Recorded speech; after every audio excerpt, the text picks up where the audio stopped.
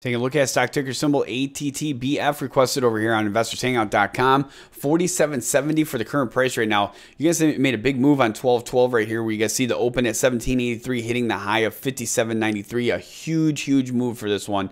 Uh, completely outside the upper Bollinger Band on the following day. You guys pulled back in to get back inside that upper Bollinger Band. And then the next day you guys rallied back up and then now again riding that upper Bollinger Band again.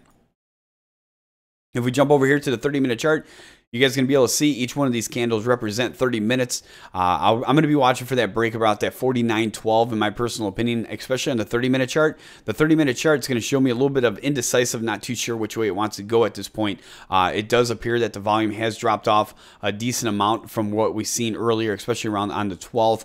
But right now, you guys just basically walking it back down, kind of what you've seen over here as well. I think that it's going to begin to pull back a little bit. I could be wrong, but that's what I'm going to be watching for right here. If you guys can't get a close above that 49.12, uh, I think that it's going to continue to start pulling back down. That's going to be my opinion. Those are going to be your levels of uh, support and resistance as well. We're just going to call them flat uh, again, 47. Uh, 45, 42, 55. We'll go over that here right now. Again, you're going to be 1218 for today's current date at 47 cents is where you're currently at. Resistance levels are going to be at that. Uh, where are we at here?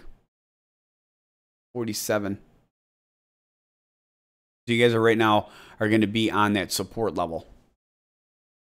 At 49.12 is going to be the main one up there at the top, but your support at that 47 where you guys are currently at, and that's going uh, to then right there that's going to follow up with the 45, the 42, 55, and then the 40.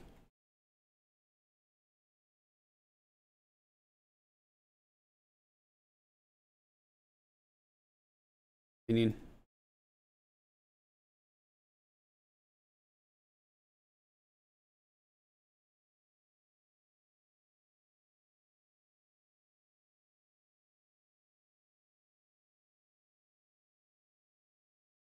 All right, so I'm putting here again. Uh, in my opinion, might trade sideways here for a few days. Volume seems to have dropped off. Again, this is going to be based on what I've seen here, especially off of the level here. You guys pull back down to that lower Bollinger Band, or upper Bollinger Band, rather, and then got that bounce again, then has that spinning top just like you had over here on the 13th. We're going to continue to watch this one, ATTBF.